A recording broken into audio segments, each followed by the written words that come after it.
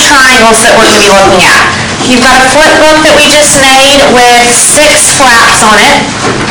The first thing we're gonna look at is measuring the triangles by the lengths of their sides.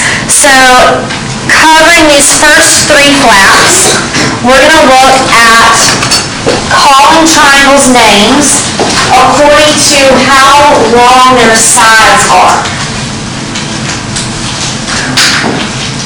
So the first three terms that we're gonna look at are gonna refer to how long the sides are. Two different ways that we're gonna be measuring these triangles. One way we're gonna measure them is how long their sides are. The other way we're gonna measure them is the size of their angles.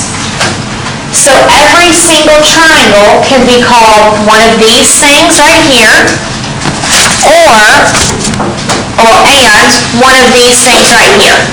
So right now, we're just gonna look at calling them a name according to how long their sides are. Yes? Can we write those down? Yes, we're gonna go ahead and write these down.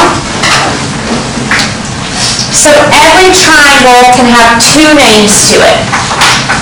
One name tells us how long the sides are. The other name tells us how big the angles are. This right here is looking at how long the sides of the triangle are. So we've got scalene, isosceles, and equilateral. Those terms tell me about the lengths of the sides.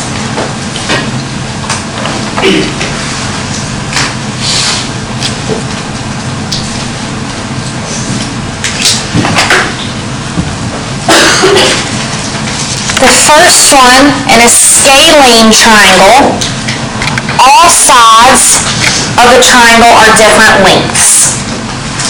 All of the line segments are different lengths. One's shorter than the other, one's middle, one's long. All of them are different.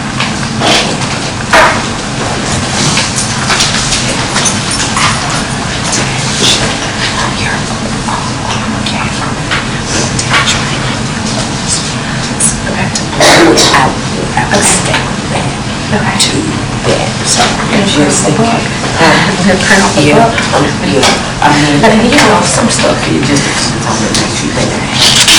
Yeah. It'll be good for you. Okay, so yeah, thank you. All right. The second one is isosceles.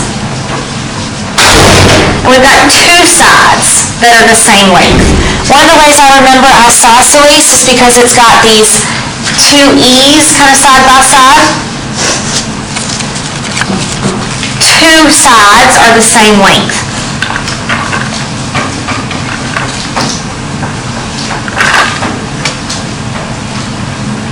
And what do you think equilateral means?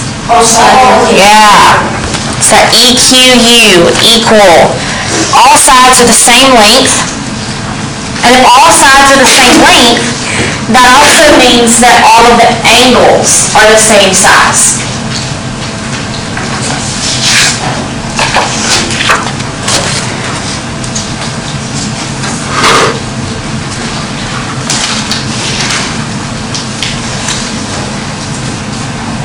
So every triangle that we have, we're gonna refer to it as either isosceles, equilateral, or scalene. That tells me something about how long those sides are. Every single triangle, we're gonna be able to say is one of those. Also, every single triangle, we're gonna be able to name it by the sizes of the angles inside of that triangle. So it's kind of like they have two names. You might be known as a sixth grader. Someone else might know you as a boy. You might be known as your name, but you also could be known as somebody on the Allen Beasley Cathers. So you have, you can be classified a couple of different ways. Same thing with these. So let's go look at what we've got when we measure them by the size of their angles.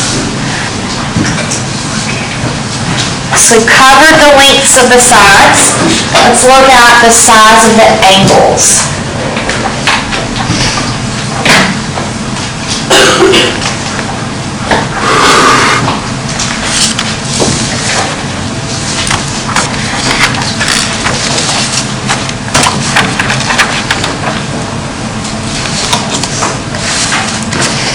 We're taking a look and naming them by the size of their angles, it's either going to be obtuse, acute, or right.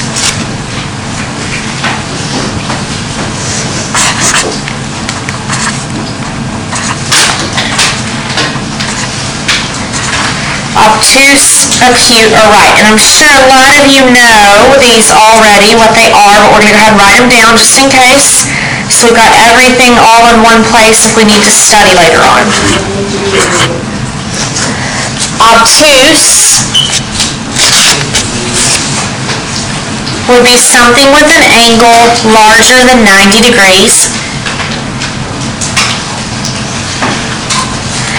What does 90 degrees mean? What is 90 degrees? Perfect right corner, perfect right angle. Yep, so anything bigger than a perfect corner, like a corner of a paper or a corner of a desk, that's gonna be considered obtuse.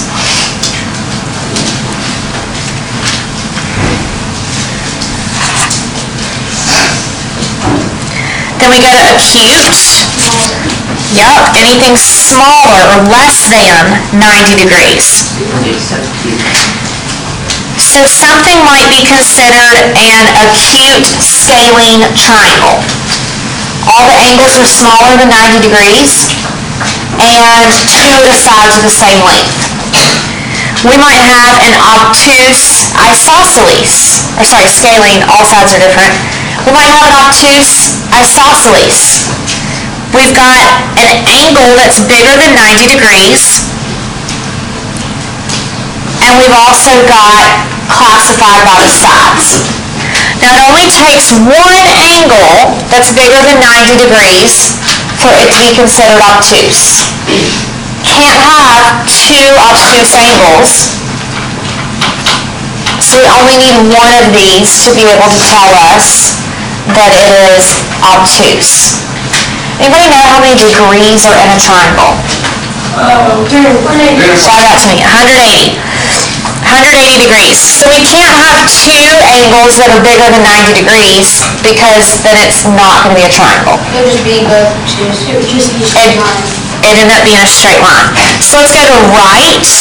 Right triangle, of course, there is a 90 degree, um, You could, you could do a box, like a square, so they ninety degree angle. Yes, a lot of times a right triangle will have a little bitty baby box in the corner to show you that that is 90 degrees. Not all the time will that be there, but some of the time it will.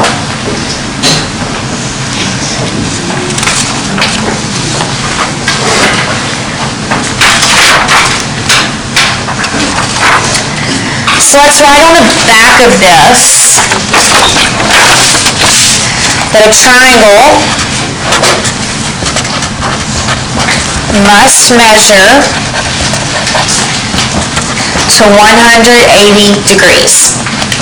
So when we add up all three of those angles, we're going to come out with 180 every single time.